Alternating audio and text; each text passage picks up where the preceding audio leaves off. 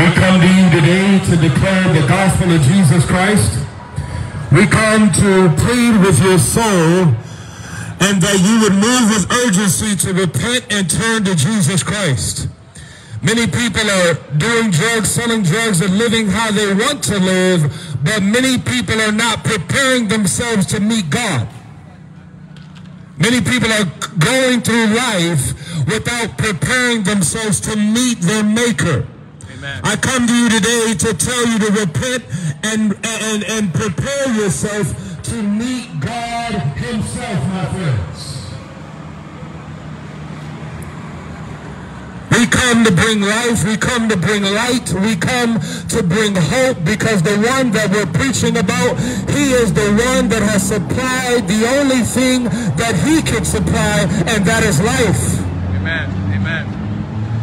Many people are looking for their next high or their own life or uh, their own type of satisfaction and all those things, but none of those things satisfy, my friends. This is why people continue to do the things that they want to do.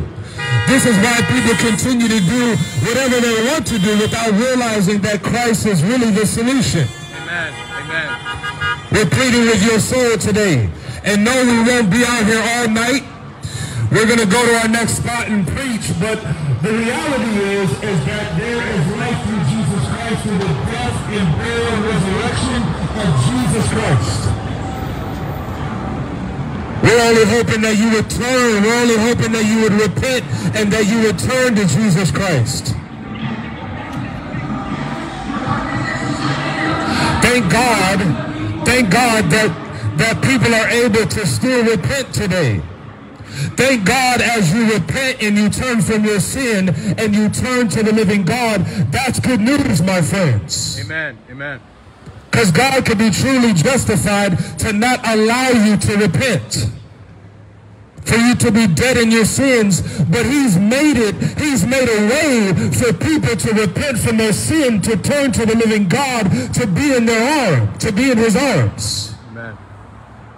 You don't have to ex- you don't have to experience the full wrath of God. Amen. You can experience both of his arms grabbing you while you're dark.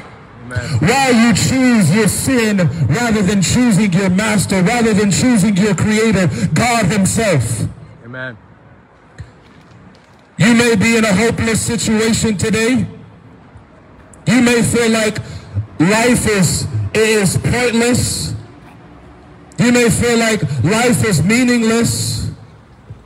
You may feel like the way that I'm living, it doesn't matter.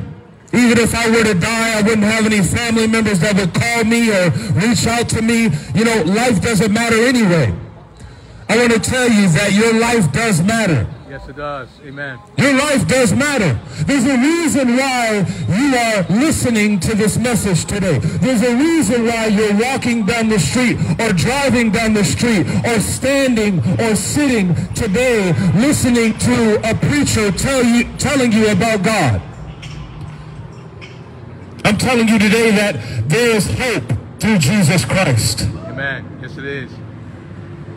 I'm telling you today, there is mercy at the cross of Jesus Christ.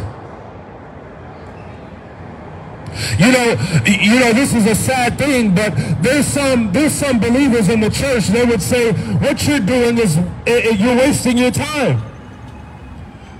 But my thing is, is that we actually probably don't really believe in the power of the gospel of Jesus Christ. Amen. I believe in the gospel of Jesus Christ. I don't just say that I believe it, but I believe it because I have action behind my belief. And that is true belief. That is true faith. That is not just me saying that I have faith in God. You'll see my actions that show you that I have faith in God.